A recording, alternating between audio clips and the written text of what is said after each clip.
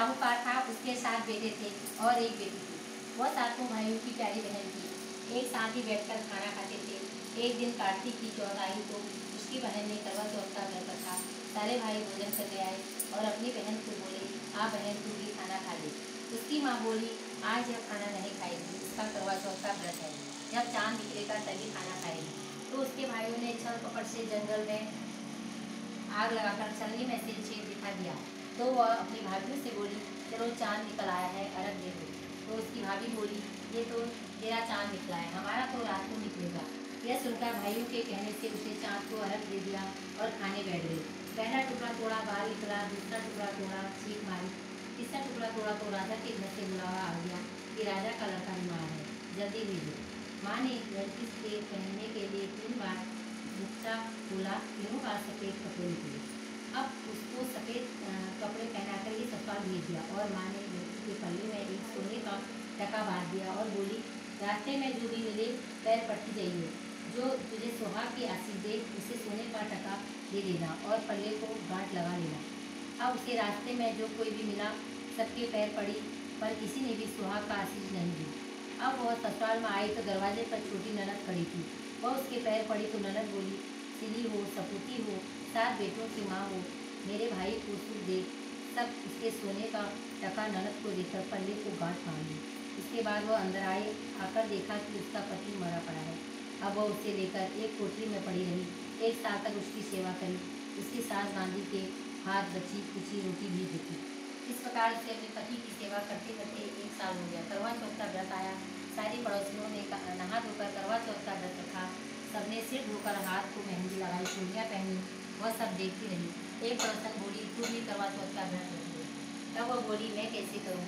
तो वह बोली, चौथ माता की कृपा से सब ठीक हो जाएगा। उसके कहने से उसने भी व्रत रखा। थोड़ी देर के बाद करवे बेचने वाली आई। करवे ले लो।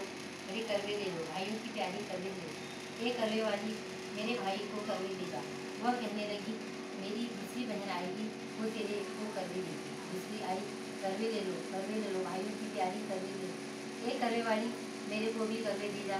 तो वह बोली, मेरी तीसरी बहन आएगी, वो तेरे को करवे देगी। इस प्रकार पाँच बहनें आकर चलेगी, पर किसी ने भी करवे नहीं दी। फिर छठी बहन आई और बोली, मेरी सातवीं बहन आएगी वह तुझे करवे देगी।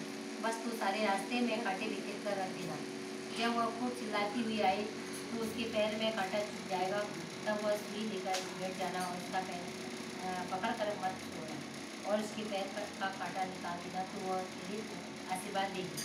भाई जियो, साई जियो, जब वह तुझे आशीर्वाद देगी तो तुम उसके करवे मांग लेना, तब वह तुझे करवे देकर जाएगी। फिर तू उजमन करना, जिससे तेरा पति अच्छा हो जाएगा। अब उसने वैसा ही किया। सारे रास्ते में कांटे बिछा दिए। जब वो करवे लेकर खुद चिल्लाती हुई आई, उसके पैर में कांटा छूट गया। उसका, उसने उसका पैर पकड़कर छोड़ा नहीं और साथ उसका कांटा निकाला तो उसने आशीर्वाद दिया। तब उसने उसके पैर पकड़ लिया और बोली, जब तूने मुझे आशीर्वाद दिया तो कभी बोला तुझे तो मुझे, तूने तो मुझे थक गया या थककर उसने उसे करवे दे दी अब करवे लेकर उसने दुश्मन की तैयारी की, व्रत रखा, राजा का लड़का ठीक हो गया और बोला, मैं बहुत सोया।